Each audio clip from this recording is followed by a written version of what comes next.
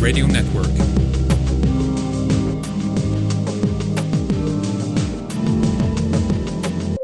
Welcome, everyone. This is Lana. Thanks for tuning in. Joining me is Inez Cyrus, also called Annie Cyrus. She's an Iranian born woman who rejected Islam and fled Iran to America legally in her teens.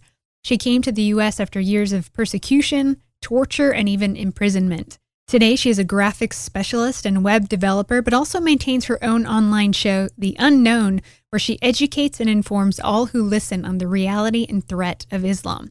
She'll share her story and will also talk about Islam in the West, Trump, and how liberals are responding to Islamic terrorism and invasion. Inez Cyrus up next. Inez, welcome to the program. Thanks for being here. Absolutely a pleasure. Thank you for having me on. Well, since you're new to a lot of people, I think that we should go way back to the beginning. I mean, you were born in Iran, right? And then when did you leave Iran and come to the US? Um, yes, I was born in Islamic Republic of Iran. Um, I was in Iran until I was 15. Uh, I left the country at age 15. However, I made it to United States of America at age 18.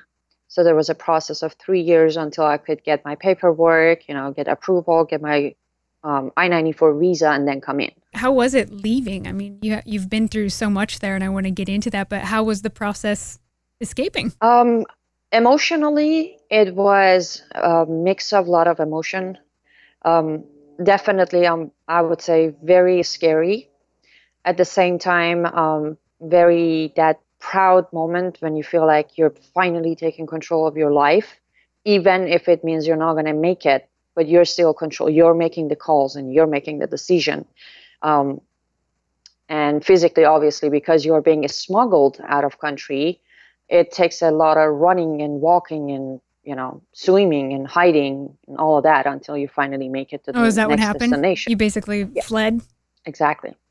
Well, I want to know you were imprisoned. I think you said twelve times before reaching the age of fourteen. Really, tell us about that. What happened is in, in all of Islamic countries, not just Iran, but all of Islamic countries, uh, there are many crimes that you easily commit. Especially someone like me, I'm I'm not a I'm not so much of a you know follower. I question every law, and if I don't make sense out of it, I will not follow it. So, um, for instance, one of the time I was arrested and put in um, prison was when I publicly started singing with my friends on the street on the way back from school. And it is illegal under Sharia for a woman to publicly sing.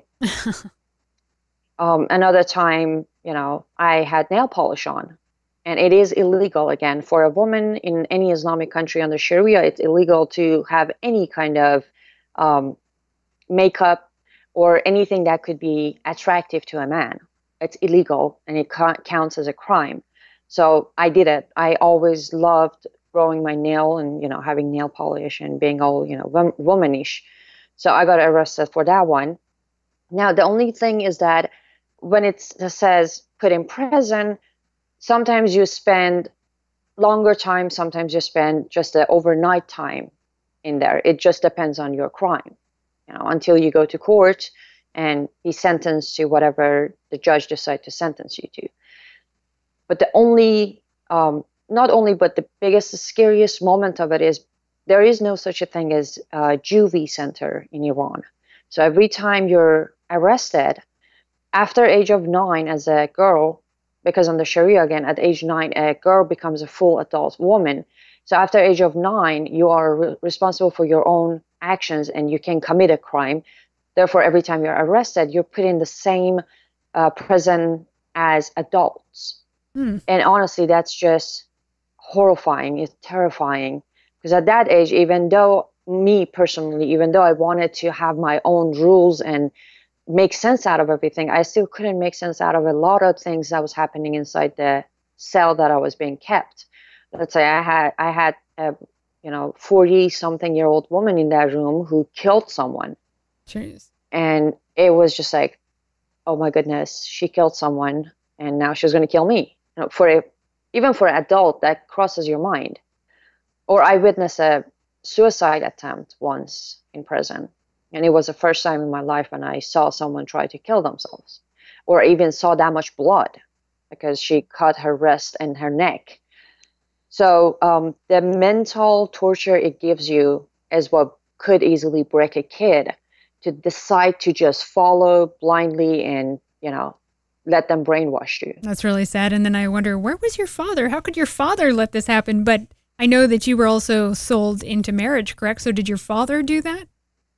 Yes, uh, my father was a sheikh, which is also known as an imam here. Um, he was a very extremely religious Muslim man.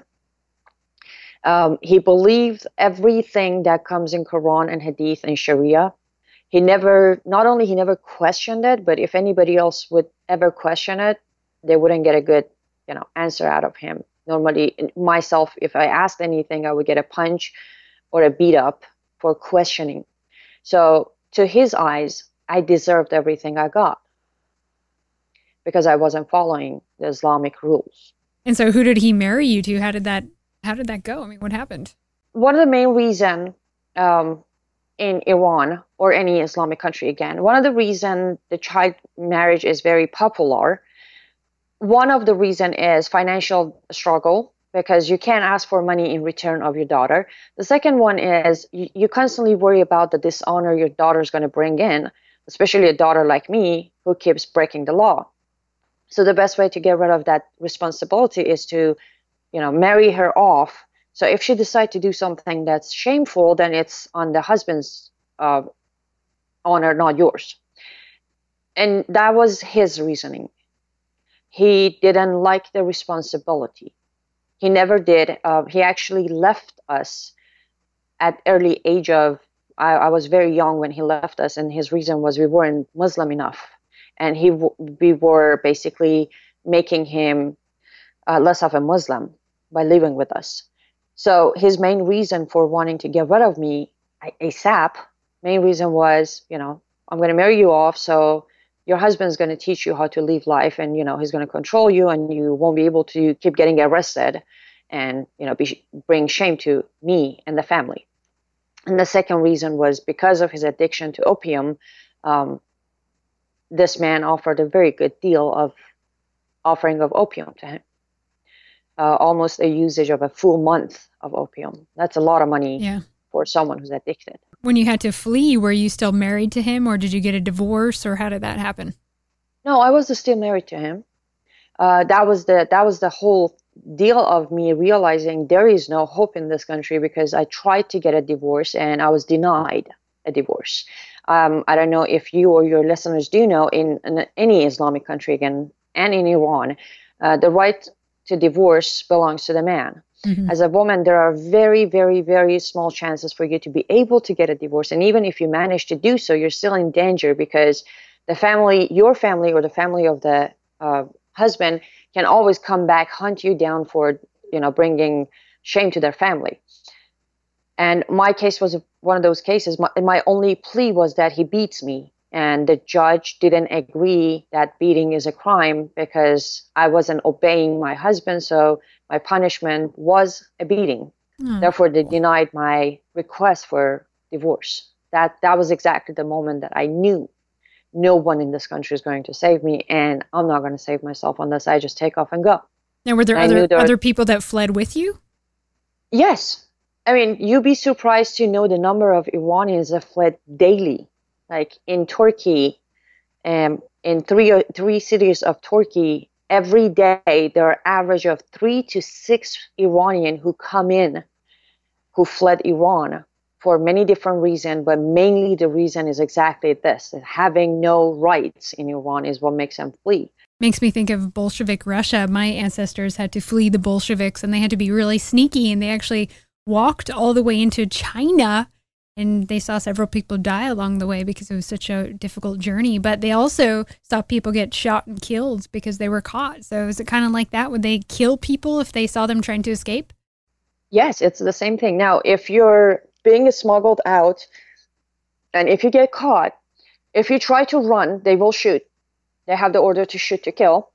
If you don't and you surrender, uh, they will arrest you take you back to Iran, and then you will be put in prison, and your charge will be propaganda against the regime because you were trying to flee. And automatically, if you're fleeing, you're going to tell people what's happening inside the country. So No evidence needed. You were fleeing, so you were trying to do a propaganda against the regime, which could end up giving you a sentence between six years in prison all the way to execution. Jeez. Now, what is the legal age of marriage in Iran? Is it like nine years old or something? There is no legal age of marriage in Iran. Um, by law, at age 13 for a girl is when you can consummate the marriage. But as far as marrying a kid, a baby girl, infant girl can be promised and sold to a family. Yucky. God, this is awful. Now, earlier you mentioned stuff about makeup and nail polish and stuff. Now, underneath the burqa, when the women are at home, do, can they wear that kind of stuff at home? Oh well, yes, you they can. Uh, now, the nail polish you can't unless you just have the you know uh, potential of constantly removing it. The reason you can't have makeup or nail polish comes from one on the street. If you do it, you're seducing a Muslim man and you're forcing him to commit a sin. Um, second reason for it is the Islamic prayer requires a, a prayer wash up before you do the prayer. And when you do the wash up, you cannot have any anything on your skin or your nail. So if you are having a makeup or you're wearing a nail polish, therefore that means you're not doing the prayer, which is a big no-no. You know, it just against the rule of Sharia if you're not doing your daily prayer. Now the daily prayer is five times a day. Normally, if you're not going to put a put a nail polish and then remove it every two hours so you can do your wash up prayer. Does that make sense? Yeah, exactly. so behind closed doors, a lot of people do. Yes. I mean, a lot of people, even as I have said, over 70%, 60, 70% of Iranians are not really practicing Muslims. They're just forced to it. Because in Islamic Republic of Iran, as soon as you're born, automatically by law of country, your birth certificate will say Muslim. You don't have a choice. You're born a Muslim, and you will have no choice but to pretend to be a Muslim and practice the Islamic um, culture, or you're going to get yourself killed.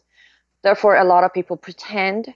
Um, if they have a nail polish, they will wear gloves on the street, which adds to their respect because they're trying to say, "Oh, look, I'm wearing a complete hijab. I'm not showing skin, so you don't get in trouble for wearing the gloves." But if you remove the glove, you will see they have long nail and nail polish and all of that. However, you're always um, in danger because uh, in Iran there are five different type of police, and one of them is morality police, and they actually have no limits. They can literally just knock the door down, come in and search your house without a warrant. Now, when it comes to the burqa, who actually started that tradition? Because I heard originally it was something that women had started. Is that true? In general of Islam, no, it wasn't. It was ordered by Muhammad himself. And how it happened was um, after one of his wars, uh, they brought all the slaves, sex slaves, into the city, and um, one of his wives was outside bringing water home, and she wasn't wearing the burqa. And the people of town started, you know, talking to her and trying to pick her up and things like that. So Muhammad came up with this idea that Muslim women will start wearing a burqa the sexist slaves will not wear it, so people of town know who they can rape easily or who they have to respect. So that's how the burqa came into because in Quran itself it never talks about the full burqa. It talks about you have to cover yourself completely including a head wrap um, in order to be respected and not be abused and molested. That was the Quranic verse. But then when as I said when this uh, event happened in Medina, then Muhammad was like, okay, I need to find a way where my people will know who they can touch and who they cannot touch. So here, burqa. We're going to start wearing burqa. So if you see a woman wearing a burqa, you leave them alone. You know, they're, you know, respected Muslim women. If they're not wearing it, then go ahead and grab them and do whatever you want to do with them because they're sex slaves or what your right hand possesses, basically. So many questions I have for you, but but I have to ask the Quran. I mean, what does it really say about women? Uh, the Quran, okay, there is a verse in Quran. Um, it's called the woman. Explains itself. 176 verses explains what a woman is, how to treat a woman, and how not to treat a woman. The bottom line of Quran is a woman is counted as a half of a man. It's a verse within Quran, no question about it. It counts a woman has half the right of a man. The second thing on that surah mentions that the man is in control of a woman because Allah has given man a better and full brain, which didn't give the woman. The third dimension in there is the woman was created for one purpose only, for two purposes, sorry, for what, the number one purpose was to satisfy the man's sexual needs, secondly, to continue the generation of Mohammedans, which means Muslims. These are the only duties of a woman in Islam. I have to say, I mean, it wasn't always this bad in Iran. I mean, I've, I've seen like Syria, Lebanon, Egypt, Turkey. It used to be secular before, you know, foreign and Zionist intervention. I saw pictures of women in the 50s wearing Western clothing, right? What do you know about that? Well, um, Iran, and one of the reasons I always say I was born and raised in Islamic Republic of Iran is because in 1979 is when Iran became an Islamic country. Now, before that, um, Iran used to be known as mini America of Middle East. Mm-hmm. We had almost the same constitution in Iran. It was when the Pahlavi dynasty was in Iran. We had the late king of Iran, Reza Pahlavi. You had the freedom of speech, you had the freedom of religion, you had all that freedom. If you wanted to be a Muslim, go ahead and be a Muslim, but leave the non Muslim alone. You want to wear the burqa, you do that, but leave the people who don't alone. So, yes, it was a very modern country. Um, a lot of people were actually free to get obtain visas and come to Western countries for education and then come back to Iran to help the technology and, you know, making the country more modern. However, in 1979, a revolution happened now, one thing a lot of people don't know about this revolution, everybody, you know, blames Carter and other Western countries. Well, basically, the revolution didn't start as an Islamic revolution. It, it started with the different groups in Iran who wanted to overthrow Shah because they believed he's giving too much freedom to the country. However, in middle of the revolution, Ayatollah Khomeini came in and hijacked the revolution, and that's when it got completely out of control. Even Western countries couldn't do anything about it anymore. He basically hijacked it from France, all the way from France. He hijacked the revolution, and finally, they won the revolution. He came in with a bunch of promises, including I'm going to give everybody free housing, free food, free gas, free this, free that. He came in, he took over and officially to this day, he basically um, obtained his power illegally by the law of United Nations. To this day, the king of Iran was never decrowned, but he came in anyways. And the first thing he did was he started killing people. So he guaranteed his power by fear. He started scaring people to, if you disagree with me, with me, I will kill you. Within this first two months of his power, he killed over 3,200 people, Iranian people, Christians, Baha'is, those who didn't agree to wear the hijab, because as soon as he came in, within 10 days, he started making hijab mandatory in Iran. And that's when people realized, uh oh, we were tricked. Mm. He lied, but it was way too late. And since then, the Islamic regime has been in Iran and they've been just basically, ma- they maintain their control by fear. Sure. Yeah. Iran has the highest number of execution in the entire planet. Now they do those publicly. Yes, some of them are publicly, some of them are not. Depends on what it is. They do what's called um, we call it in Farsi normal crimes. So whatever is um, whatever is um, approved by the rest of the planet. Let's say a drug dealer, a murderer. They do those publicly. But those who are political prisoners, they normally end up being killed and never revealed that they were killed.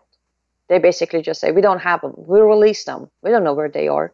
We, they become missing people. Mm. But then there's a mass grave somewhere that uh, literally they killed Baha'i and Christians and then just dumped their bodies into the mass grave. But nobody can actually prove they did it because it's in it's not in public eyes. Well, I also want to ask or get back to the women question. It seems that there's also a lot of, you know, Muslim women that don't mind living under Sharia. I mean, I've seen a lot of stories, unless it's fake, where they actually don't want to be rescued. They reject, you know, Western feminism. They think it's garbage. So, are there some women that actually do enjoy living under Sharia? In a simple answer, yes. But one thing you need to um, keep in mind is then that the torture and brainwash that happens to women, it's not as simple as okay, somebody can rescue me and I can be freed. Sure. Yeah. Because the brainwash doesn't tell you that, okay, if you try to flee, I will catch you and kill you. No, the brainwash from the moment you're born is if you try to disobey Islam, you will die, you will go to hell. And this and this and that gonna like seriously, they're gonna tell you such a horror story.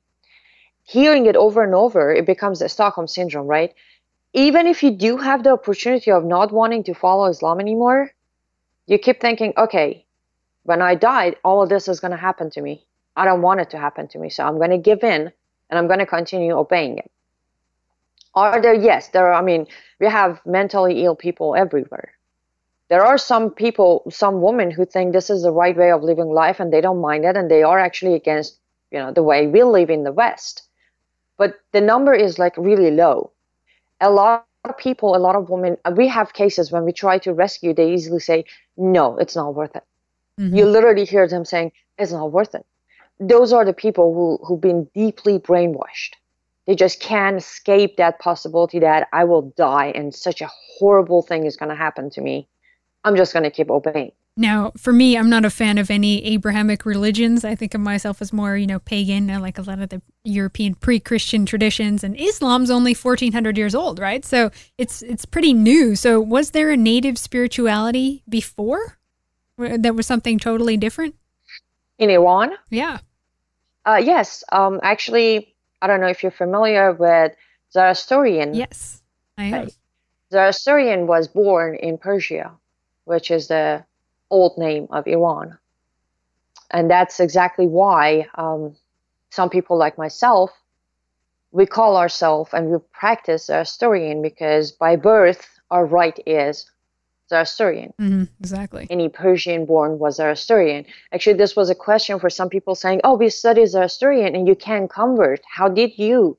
Like, well, I was born one. They hijacked me and named me a Muslim, but my blood is a Zoroastrian blood, so I don't need to convert. You know. So yes, before the first time when Islam hijacked Persia, it was all Zoroastrian.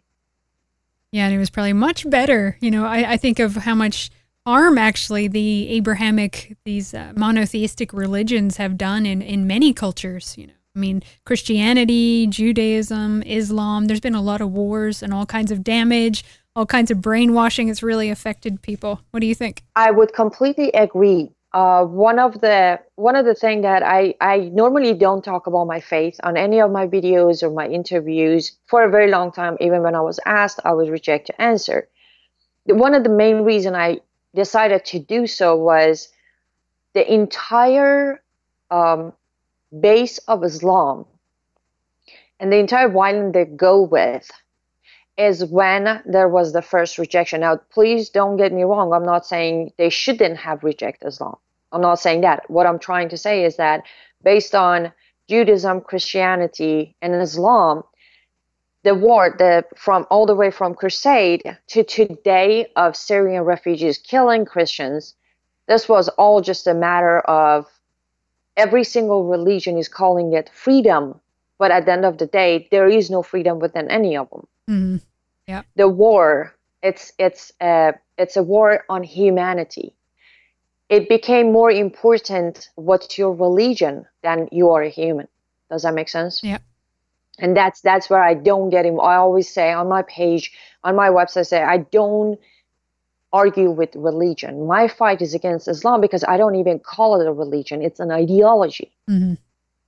And I also don't have enough education. I wasn't raised a Christian or um, Jewish or any other religion to know enough to want to take a you know debate on it. But what I do know is, at some point, we all need to stop. I do not care if you're a Christian or not. I don't care if you're Jewish or not. I, I don't care what's your faith. If you're a human, I am fighting for you. I have cases that we are handling that are Sunni Muslim. I don't even care they're Sunni Muslims. Some people are like, you're fighting Islam. Like, I'm fighting Islam. I'm not fighting Muslims. Because I know a huge number of Middle Easterners were born into it. This man doesn't have a choice, just like I didn't. If I was still in Iran, I wouldn't have the right to wear my farvahar and proudly stand and say I'm a Zoroastrian. They would have killed me. Therefore, I will even fight for the Sunni Muslim, Shia Muslim. As long as I know they're human, I will fight for them. We, we definitely need to break this whole division of my faith, faith is better than yours, mine is better than yours. Because at the end of the day, we were all born as human. The secondary was our sex. The third part of it is our faith and religion. Now, what would you like to see happen regarding Islam? I mean, what's the answer to push it back? Because now we see, because the doors of mass immigration are open, we see Islam literally flooding into Western countries now. So, what do you think? I know it's the big question, but what's the answer? Do we close the borders, Actually, send them home? What do we do? To be honest, I don't think the solution is to push back. The solution is to get rid of. Islam needs to be wiped off it needs to become illegal to even practice it. That's a, that's what I fight for. I, I'm trying to prove Islam is not a religion, therefore a freedom doesn't apply to it. A religion is about faith, it's about choice. Islam doesn't have any of them. Islam is submission. So Islam needs to become illegal in every country because it's not even possible to moderate Islam. There is no way to rewrite Quran there's no way to rewrite how Muhammad lived his life. And Sharia, as we know, is the combination of Quran, Hadith, and Muhammad, Sunnah, not Sunni, Sunnah, which is the guidance life of Muhammad. Put these three together, you get Sharia. So if you can't change Quran and you can't change Sunnah, how do you change the religion? You mm-hmm. can't. We always hear not all Muslims, right, after each terrorist attack. And there's been so many attacks lately, you know, so again, yeah, is it a religion of peace? I mean, what's your average Muslim really like? People try and argue that this isn't usually how Muslims are.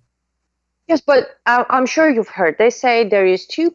Uh, 2.6 million uh, Muslim, right? Mm-hmm. Is that the number they say? 2.6 million are Muslim, but only 120,000 of them, or 12% of them, are extremists. Now, I, I always want to say this the number of 2.6 that everybody's hearing about is an incorrect number. Let me tell you why. In Islamic Republic of Iran, when you're born, you count as Muslim. When they say 2.6 million Muslim, they are counting those who were born into it as well. That doesn't count. Look, I will always be counted as a Muslim because I was born in Iran, but I stand and say I'm not a Muslim. So that's a wrong number. That's a wrong percentage.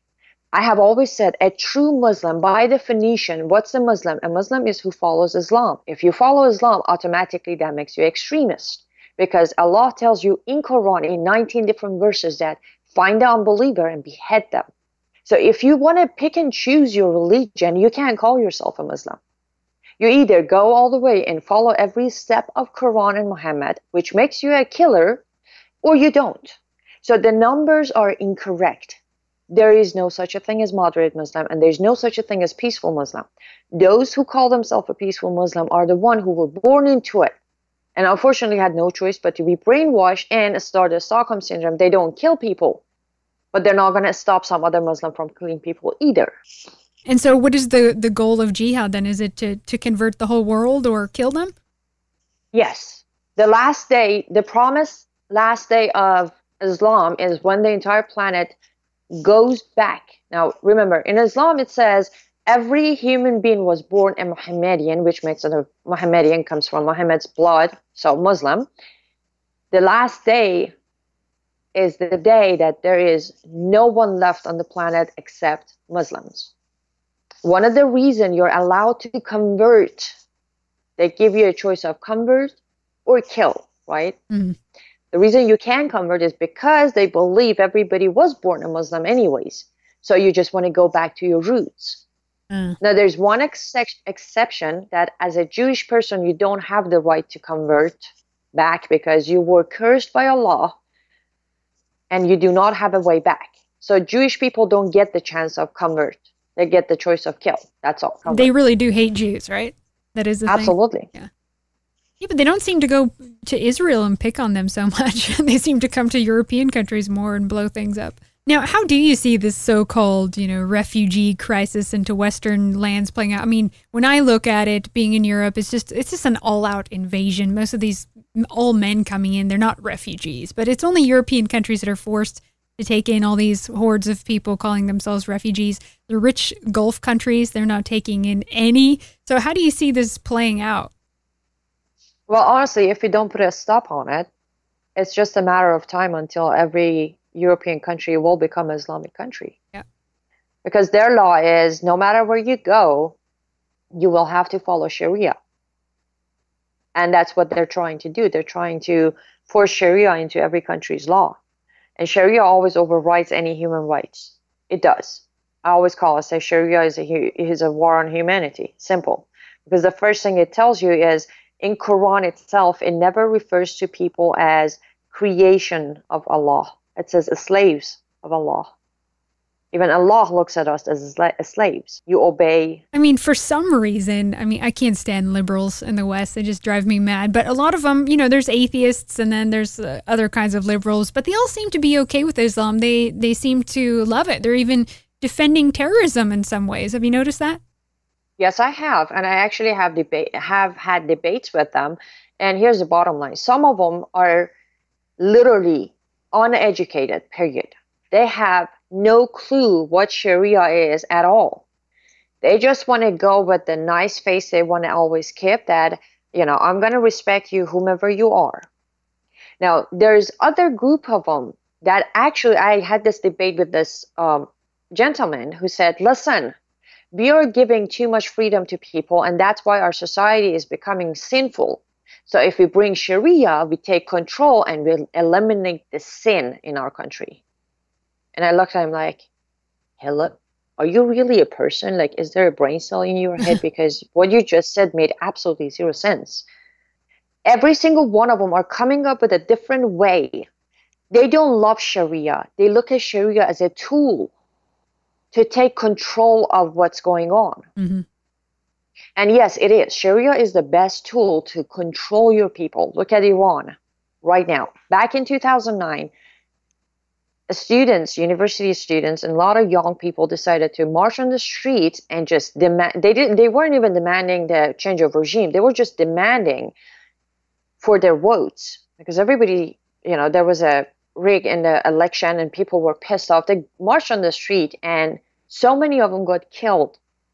So many of them got arrested, put in prison, and disappeared from there. That since 2009, not a single attempt has been made by people. That's called control. When you kill people on the street, the next generation is not going to have what it takes to march again and try to overthrow you. And that's how Islam is, anyways. As I said, submission. Yeah, and, so, and what you see too in, in, European countries, our boys have become so soft. I mean, America maybe they're still hardened a little more, but Europe, you know, they've become too tolerant to where they just bend over, and then you know, before they know, there's going to be mosques everywhere, right? Exactly, and that that's what that's where the liberal are looking at it opposite. Instead of thinking that because of how our society is today it's easier for them to invade our country yeah. they're looking at it as a good thing. Look they're going to teach our kid I, the same guy said listen you know what they're going to teach your boy? They're going to teach your boy that a woman is a property. They're going to teach your boy to be a rapist. Is that what you want? He's like no, they're not going to teach him that because I know how I raised my boy. My boy will never hit a woman. I'm like, are you sure about that? And like, yeah, I'm positive. But they will show him if he tries to do this and that, then they're going to kill him. I'm like, and you're okay with that? He's like, yeah, because he's not going to do it, so they're not going to kill him. I'm like, I can't find logic. Don't get me wrong. I'm not saying they have a logic behind what they're doing, but they are basically First of all, what I do believe is liberals, especially here in the United States, they don't love America.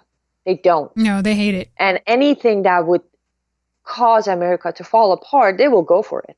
They won't even blink. They won't even consider consequences. Look, uh, like right now, look at Hillary Clinton. Yeah. You really think does, she doesn't know the consequences of things she's doing? Of course she does. She yeah, it's like they, care. they want to destroy everything. They have this, exactly almost have a death wish or something. It's strange, you know. Well, it all comes from again. I go back to being uneducated, and I'm not referring to going to university and get a master or a bachelor's or associate degree. No, I'm talking about the actual no, knowledge of knowing what's coming or what is it you're choosing what is it you're siding with they don't take the time to educate they just our, our society has become became so lazy yeah sure I know, and, and history is just repeating itself. I mean, Europe's pushed back Islamic invasions before. We've already fought very hard to do that, right? So now it's just we're just inviting it right back in again, no problem.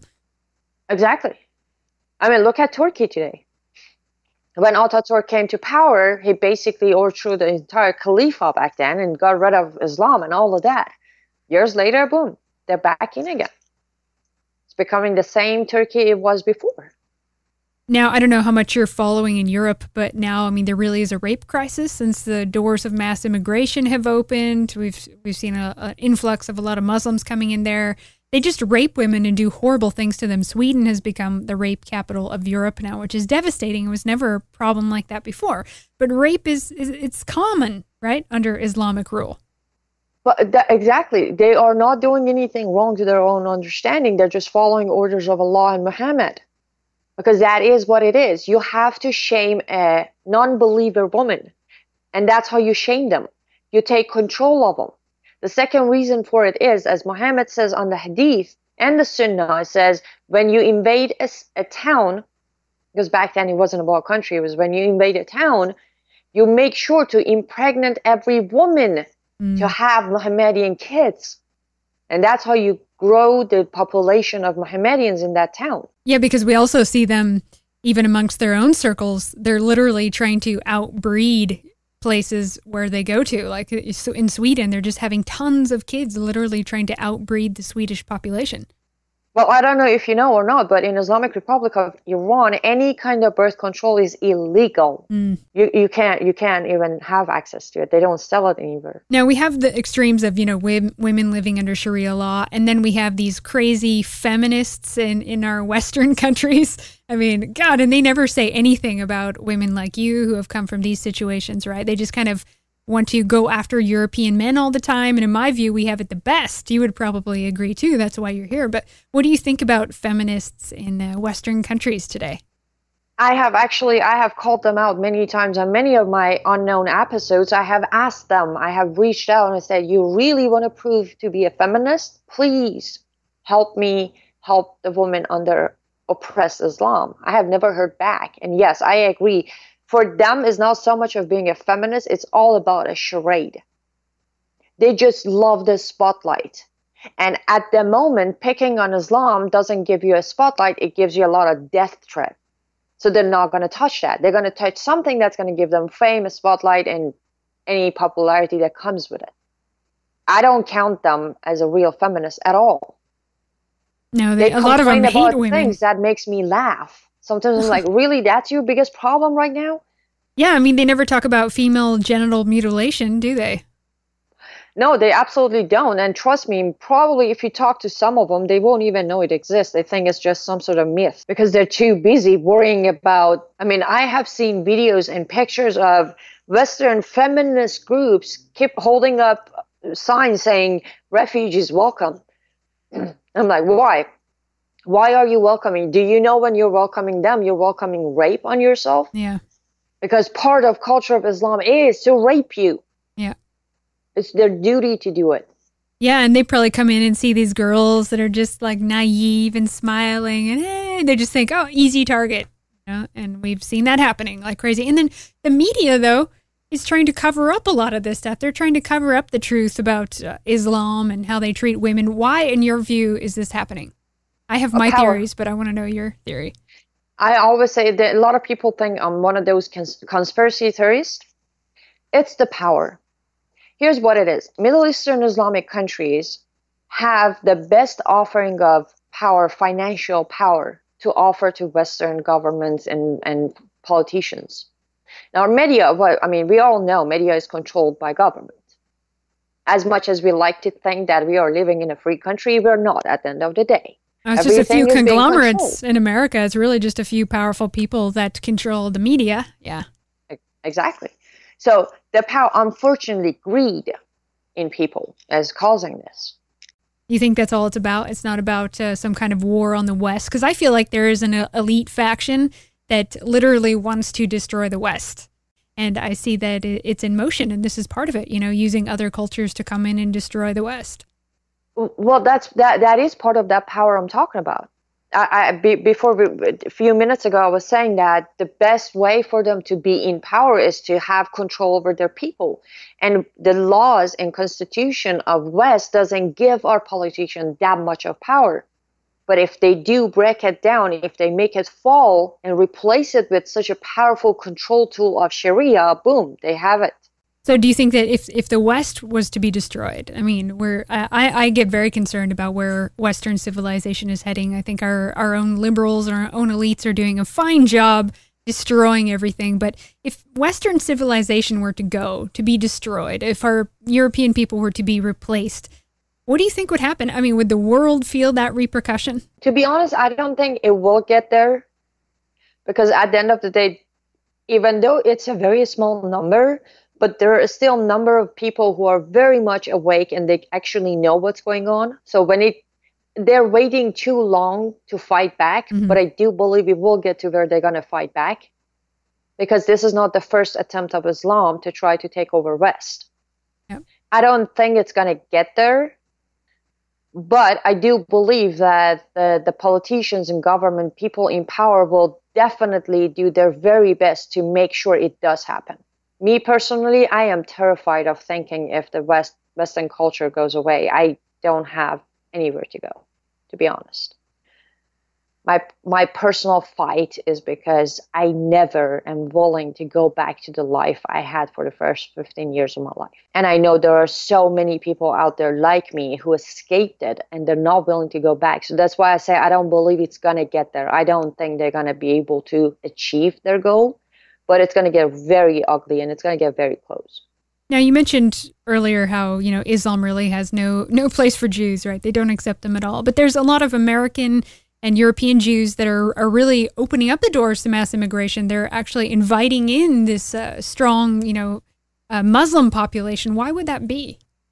To be honest, I don't understand what they do. The only thing I do hear from them explaining is that we are trying to um, we're trying to um, show the love to overwrite the hate within them. To me, that's like, uh, well, that's not going to happen, but I could never make any sense out of it. I had a friend of mine who I explained, I brought the Quran and put it in front of her and explained what she will count in Islamic society. She said, well, if they want to kill me, let them kill me, but I'm not going to hate them. like, uh, okay. Yeah, I've heard this before. You know, if you hate them or if you fight them, they win. I'm like, that makes no sense at all. that makes no sense. Exactly, it doesn't make sense to me. That or when when um when um Obama talks about, you know, oh, it's because they weren't hugged enough. It's yeah, because exactly. they were hated. I'm like, are you kidding me? Yeah. It's been going on for 1400 years. It's not something that started yesterday. And what is it to love them for?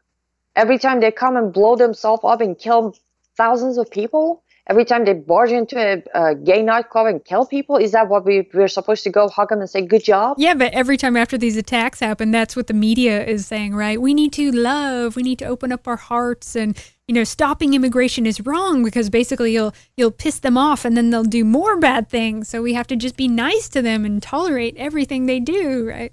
Until they kill every single one of us. Exactly and that's what I say on, on some of my videos. I always say I'm like, you see, some some liberals think that I'm this hate preacher and you know I'm filled with hate. I'm like, listen, listen. I, am not spreading the hate. I'm spreading the truth. Now, if it sounds like hate, then you should realize Islam is about hate. Yeah. Uh, don't don't blame the messenger. There's Sunnah, their Hadith, and their rules. Now, if you think it sounds like hate, don't you think you should realize the actual so called religion is the hate and not me? Well, to most lefties and liberals today, I mean, the truth really is they, they call that hate. You know, so it's like hate facts, right? We always joke around about that. Exactly. That that's the thing. I get a lot of attack from liberals saying, "Well, listen, because you had few bad experiences doesn't give you the right to come and say these things. I'm like, wait, wait, did you just call that a few bad experiences?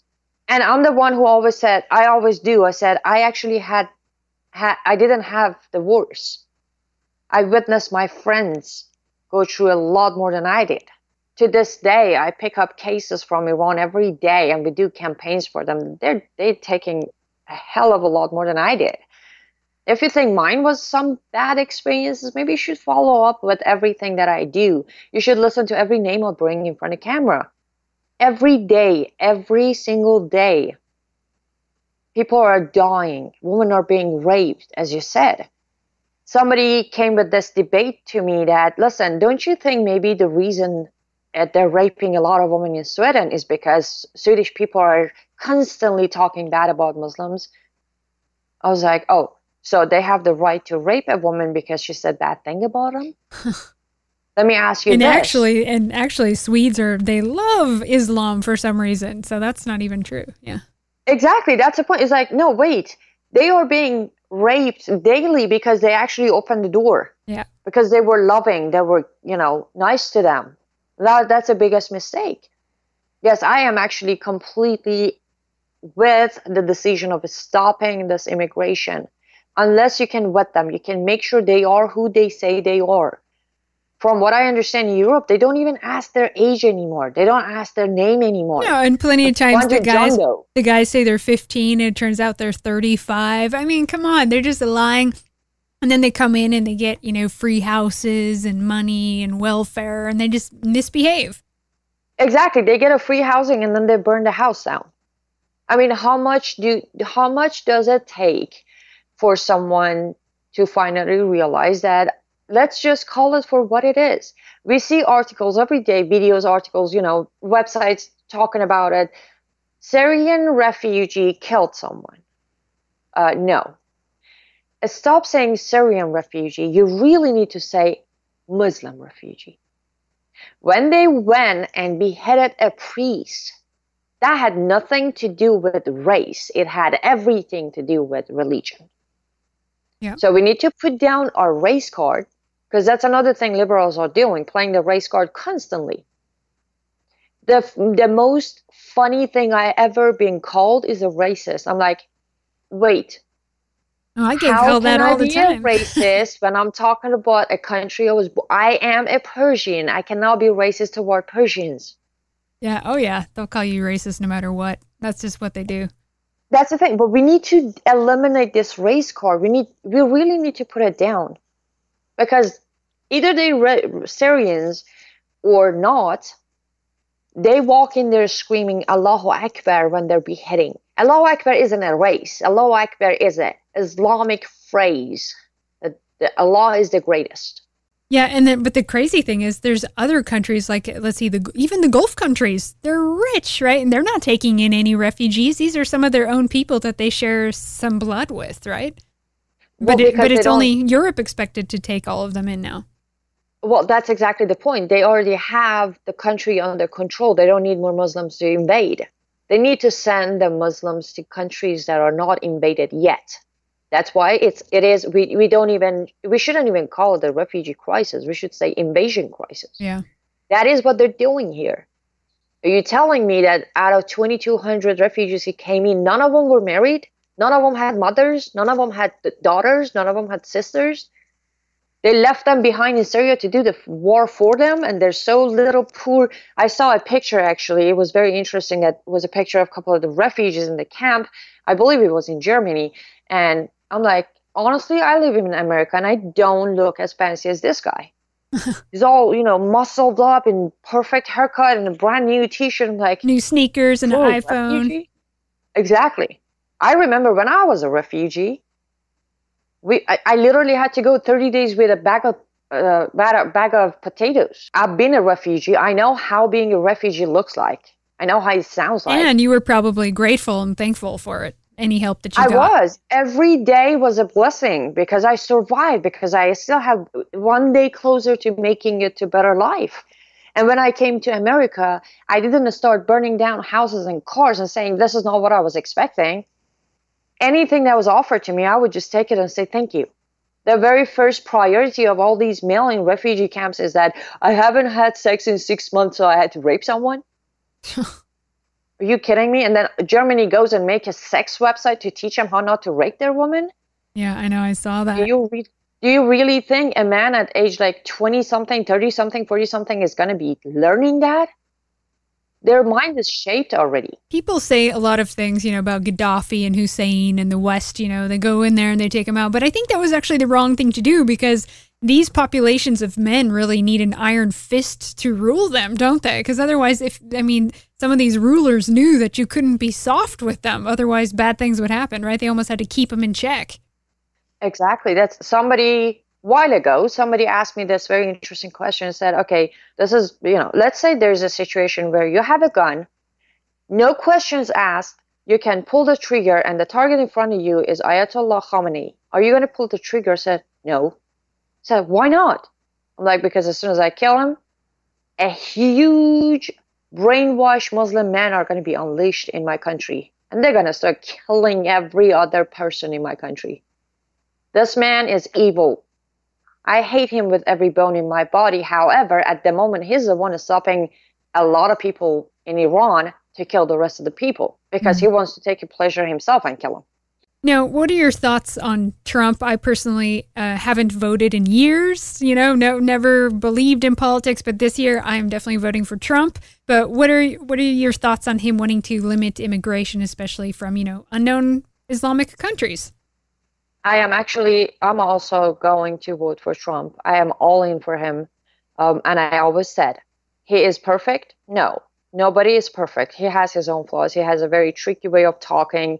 But two things about him made my mind to vote for him. One, at least he does say what he means. He's not politically correct. He's not afraid of saying what he thinks. I love that about this man. It kind of like me, you know. I just say it whatever, hate me, love me, I will say what I think.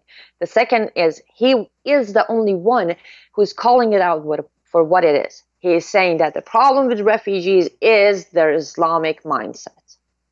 And he is right.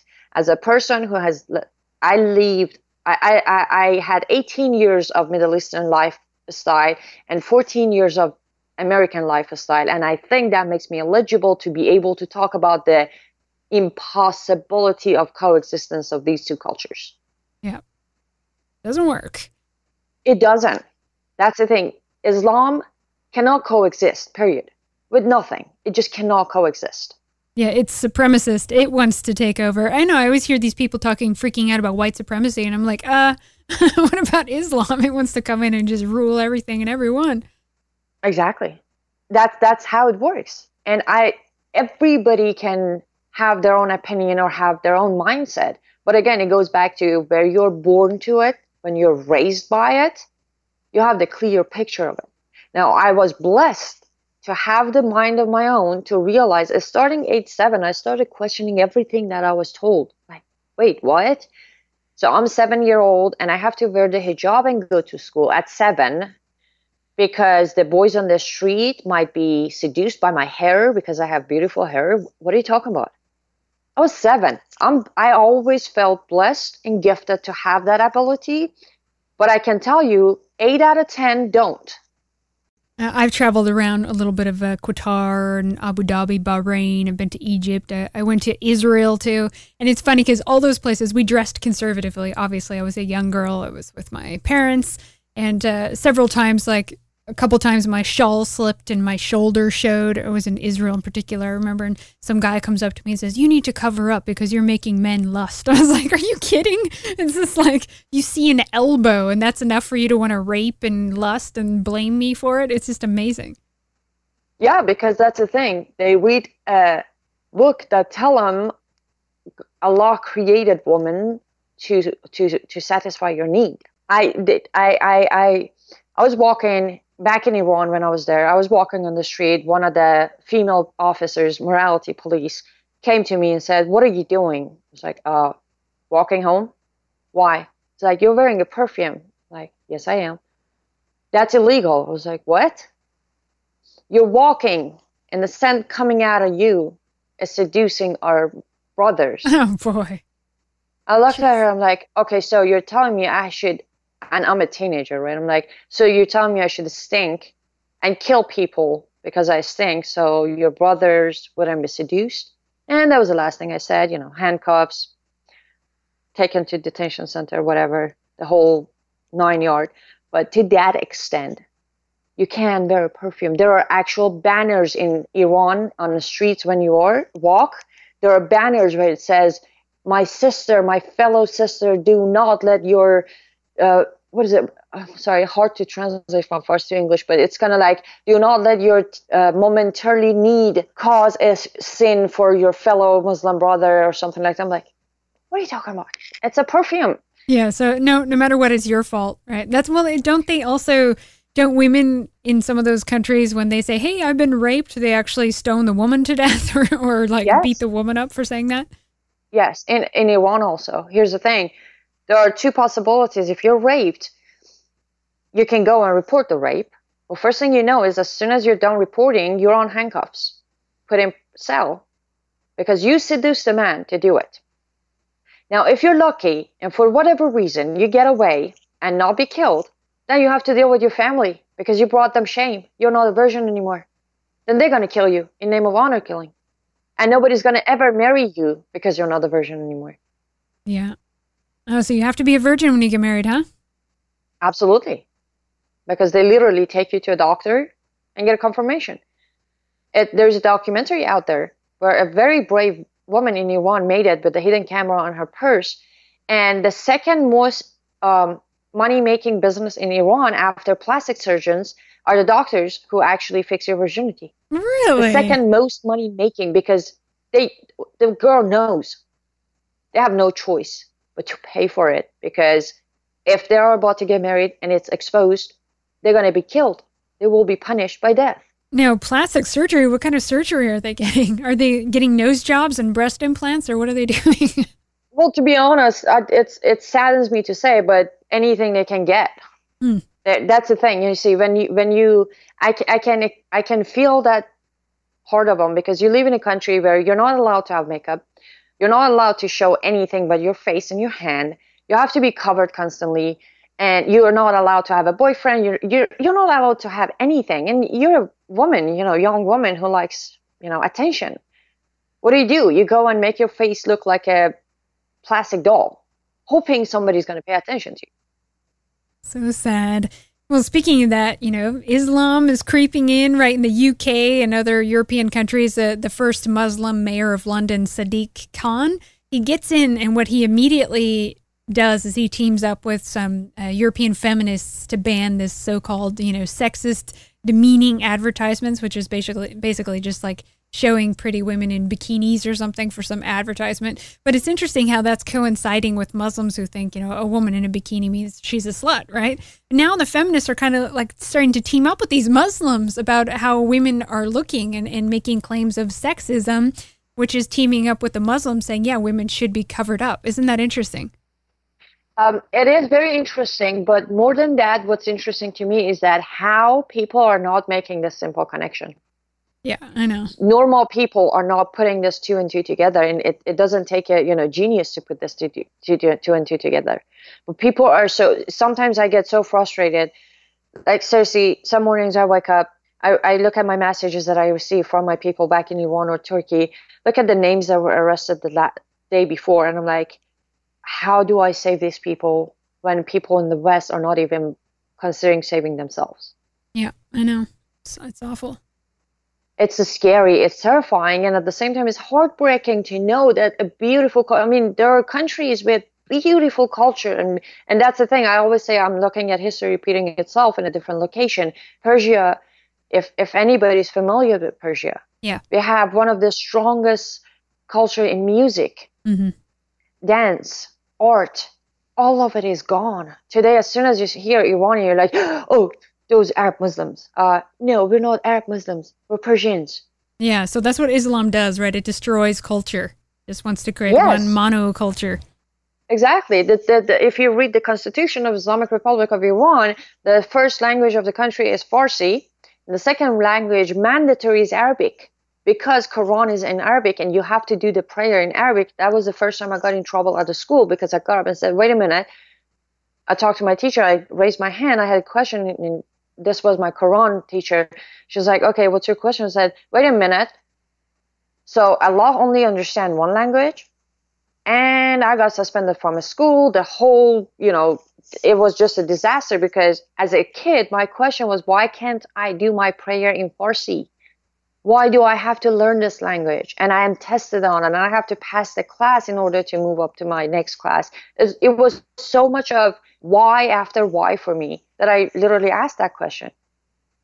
And I didn't have the right to ask that question. I just had to learn and do and not question it. Well, it's good that you're still so young and you've figured all this out and you're you've started over a new life and it sounds like you're much happier, right?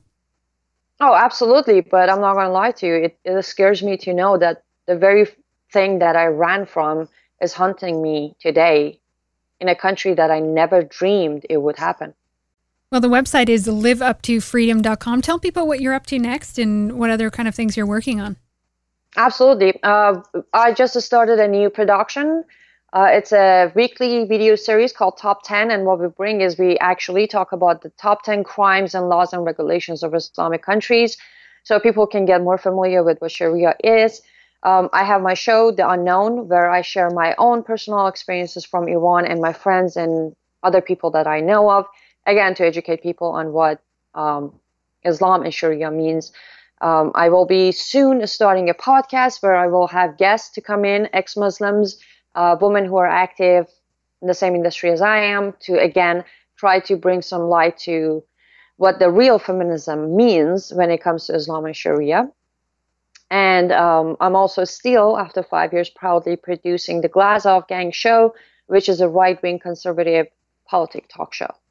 Well, very nice. Thank you so much for your time today. I've really enjoyed it, and I think that you're a lovely woman. So thank you. Oh, absolutely a pleasure. I thank you so much for, again, giving me this time. Yes, I know Islam isn't the only threat. I get that. But nonetheless, it is a threat compounded with many others. And it's only growing and getting stronger the more that come into Western countries. Now we see people being mass murdered in the name of Islam. It has no place in the West, and I have no room for it in my heart. If people don't want Judaism or Christianity, then why say yes to Islam? I will never be tolerant of Islam in the West. I do not want to live in a Europe surrounded by mosques that blast prayers through loudspeakers five times a day. I don't want to see halal food, and I certainly don't want to see women in burqas or men who treat women like servants. There's Muslim countries, so those who want this can move, but the West should close the doors to Islam and eliminate it from their lands. Our cultures are ancient and beautiful, and that is what we must embrace and resurrect on a grand scale. We need our own space to do this. There's no such thing as being multicultural in one country. One will always dominate and take over the others. It will pervade into every aspect of the current culture and change it. Islam is all about that conquest. Redice.tv is our website. Members go to redicemembers.com for full access to all our content, including our Saturday live show, Weekend Warrior. Thanks for listening. Have a great night.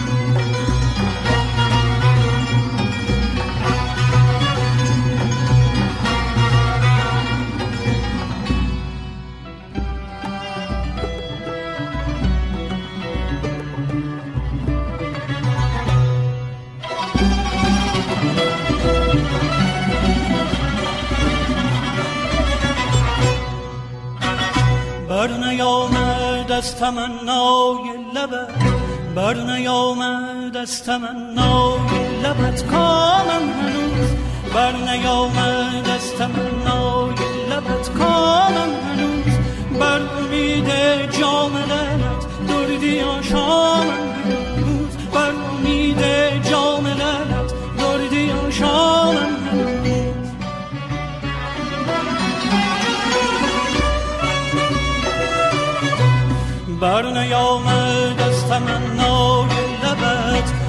نیامد از تمنای لبت کامم هنوز بر امید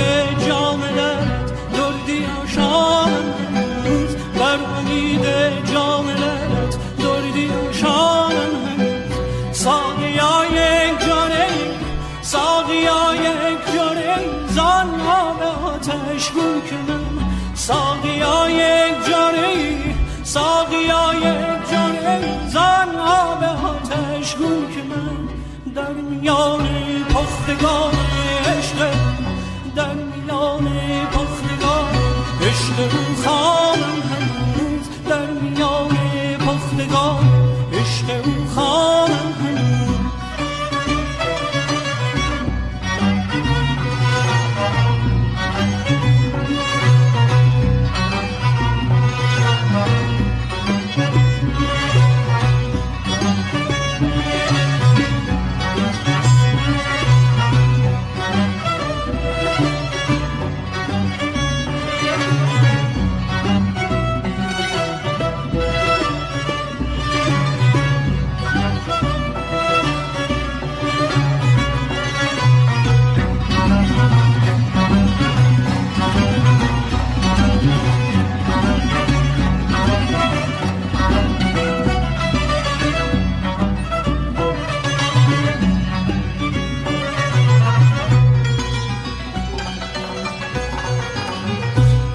گفتم شبی از خطا گفتم شبی زلف تو را مشک ختم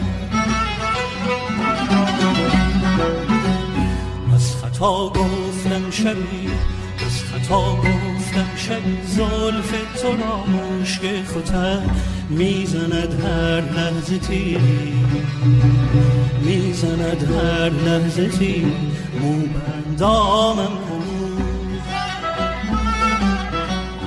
ای که گفتی جان بده ای که گفتی جان بده تا باشدت آرام بده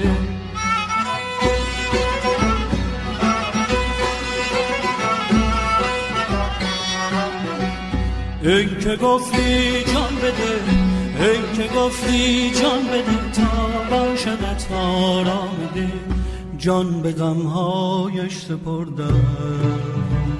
جان به غمهایش سپردم نیست آرام ای که گفتی جان بده ای که گفتی جان بده تا باشدت آرام بده. جان به غمهایش سپردم جان به غمهایش سپردم نیست آرام جان به غمهایش سپردم نیست آرامم در ازل دادش ساقی لر لبت. در ازل دادش ساقی لر لبت. جرعه جانی که من جرعه جانی که من مدهوش آن جامم هنوز. جرعه جامی که من مدهوش آن جامم بر نیامد از تمنای لبت بر نیامد از تمنای لبت کارم هنوز بر نیامد از تمنای لبت کارم هنوز بر امید جام لبت دردی آشانم هنوز بر امید جام لبت دردی آشانم